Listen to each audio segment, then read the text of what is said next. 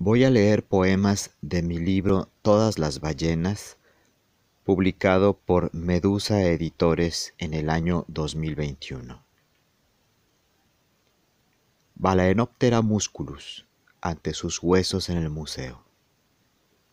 Blanco, blanco es este hueso, con una lisura que no es la de la piel. Se curvan con cierta gracia estas cuarenta o treinta vértebras. Su gracia no es la de la ola, ya no más. Esta cavidad alguna vez fue oscura, hoy traspasa sus costillas este abundante sol. Hoy no resuena con el llamado de la tribu, es xilófono y no tuba, final y no principio, no principio, ya no más. Qué rigidez en las aletas, tan ceñidas a la formalidad de los museos, y qué semblante acalambrado, esa rectitud acusatoria en la mandíbula, señora doña Cetacia Misticeta, qué seriedad la suya. Tómese la espera con más calma. Lo sé, no es de ballenas permanecer en tierra, y ese arpón debió doler. Y hoy se la ve, no sé, tan débil, tan ligera de su cuerpo. A usted que acostumbraba reventar el agua, usted que era plomada y era mazo de la mano del enorme constructor, que puso el mar en su lugar y esculpió los abismos y las costas. Usted que fue primero que los hombres, usted que era submarino y transatlántico antes, muy antes de que usáramos la rueda, el alfabeto y el sombrero. Hoy visito sus muy griegos costillares. Hoy la conozco en mármol. Hoy me queda su cuerpo fusilado. Corran la voz de un polo al otro extremo también los dioses mueren y también tropiezan y se vuelven ciegos, sordos y se hunden. Y sus cantos se vacían, sus gargantas son un hueco iluminado y mudo, y se tornan palpables, y se vuelven gentiles como un mueble, y se ofrecen como prueba de su propia existencia, y su evidencia es tal que no precisan de palabras, amables como un trozo de yeso. Se imponen a sí mismos un horario, y se vuelven habituales, se vuelven como el polvo y las agendas. En medio de los hielos brama un canto, apenas se le escucha, pero está ahí una certeza en los confines de la tierra, la vida que brota entre lo inmóvil, y una ballena responde vivamente a la llamada, se pone la carne encima, se abotona la piel, de sus hilos se descuelga, pega un salto mortal, sobrevuela los muelles hasta el hallazgo del agua, se llena los pulmones, se sumerge y un canto, idéntico al primero, va recorriendo las costas hasta que se apaga en una lejanía demasiado vasta, más vasta de lo que podamos siquiera comprender.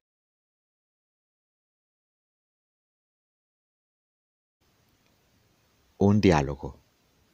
Los elementos transuránicos son efímeros y artificiales. Así el poema, ha interrumpido Sócrates, estirando los pies y descalzándose, como hace siempre al punto de empezar su diálogo.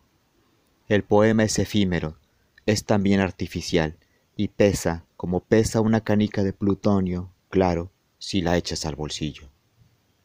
Y yo en su juego, ¿puedes echarte un poema en el bolsillo, oh Sócrates? Dime, ¿es portátil la poesía? Y tóxica, ha replicado él, que emulando al sátiro se planta cara contra cara frente a Apolo. Irradia como deben irradiar algunos soles, pero ella misma no es el sol ni nada por sí misma iluminado. Fue ahí que apagué la televisión para escuchar a Sócrates. Veíamos Nat Geo, un programa sobre Fermi, creo, o Feynman. Imágenes de Chernóbil se habían ya deslizado en la pantalla. Estábamos ya solos él y yo, pues solos nos dejaron antes del amanecer nuestros amigos. Háblame de la luz, me pidió Sócrates, que nace en el poema. No es luz, es hambre, respondí, hambre de luz, es de la carencia que nacen los poemas. Es tu hambre, pues, lo que ilumina, dice. Has dicho bien, oh buen sileno, le respondo y continúo. Es en esa oquedad del poco ser, esa oquedad del hambre, que las palabras resplandecen y enferman de oquedad a quien las lee. ¿Tienes por ilícito repartir con el resto de la gente nuestra hambre? no ilícito, se mostró comprensivo el buen amigo, pero arduo sí, porque la oquedad no ocupa volumen alguno en el espacio. Es peor que arar el aire, ni rastro queda ni un eco de su paso por el mundo. Pero es mejor así. No hay masa en el fotón, pero ilumina.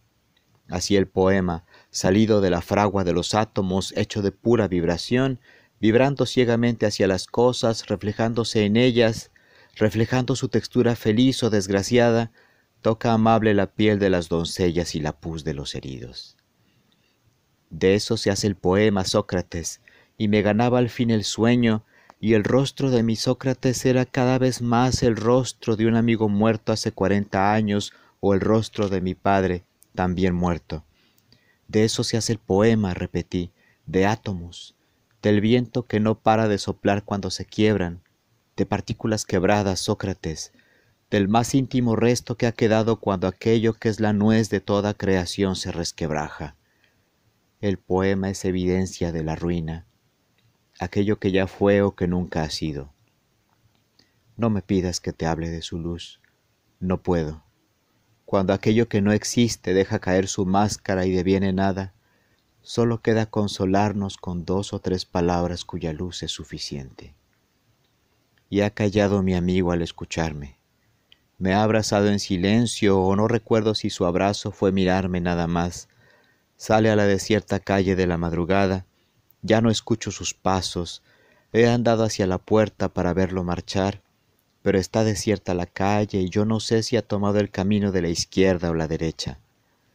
El aire frío se cuela por mis uñas, me cala en cada hueso, amanece en la tierra, y algo en mi entraña entre dos átomos se rompe y ya no es, y yo mismo ya no soy o sueño que soy otro y renaciendo me despierto.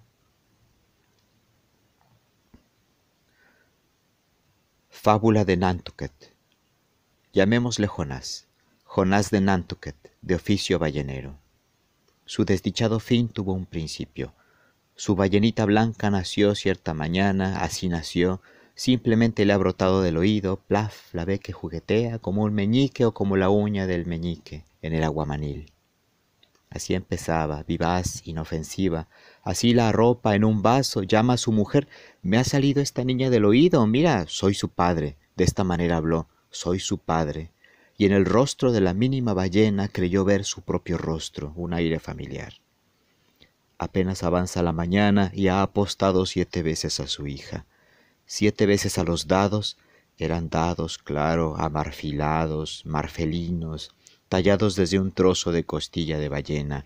Siete veces jugó y ha ganado esa mañana, y siete veces le han dejado su dinero los viejos balleneros. A la semana ha crecido la ballena y le dispone por buen sitio una cubeta.